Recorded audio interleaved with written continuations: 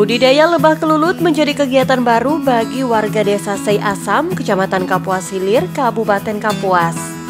Budidaya binatang kecil berwarna hitam yang terbang ini dinilai menyenangkan hati, lantaran ada tantangan dan keberhasilan. Oleh karena itu, perlu konsentrasi dan keseriusan dalam usaha budidaya lebah kelulut ini. Mas Rawan, seorang pembudidaya lebah kelulut yang juga menjadi kepala desa di Sei Asam ini, mengaku sudah dua tahun belakangan ia menggeluti usaha budidaya lebah kelulut. Dan cara membudidayakan lebah kelulut ini dipelajarinya dari temannya satu kampung yang berada di Banjarmasin, Kalimantan Selatan. Saat ini sarang madu lebah kelulut yang semula hanya satu sarang kini sudah berjumlah 10 sarang. Yang ditempatkannya di belakang rumah pada kotak kayu berukuran 50 cm x 50 cm.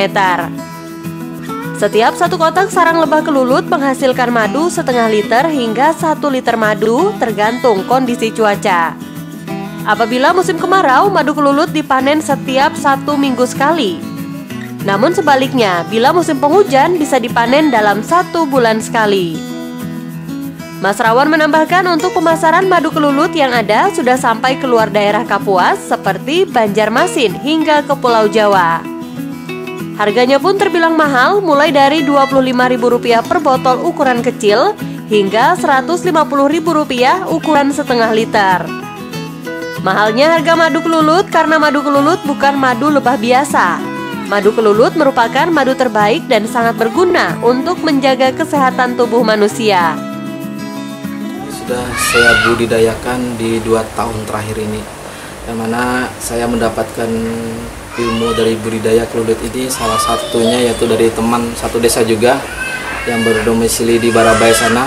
Beliau memperkenalkan budidaya madu kelulut ini kepada saya karena saya salah satu pengidap kolesterol. Jadi uh, kenapa sampai sekarang saya membudidayakan karena dari pengalaman pribadi akhirnya saya tuangkan atau eksploitasikan ke masyarakat. Alhamdulillah sampai hari ini budidaya madu kelulit ini dari satu sarang sampai sekarang sampai 10 sarang dan madu madu budidaya madu kelulit ini sudah sampai ke luar daerah seperti Banjarmasin, Palangkaraya, Tangerang, Salatiga yang sudah kita kirim.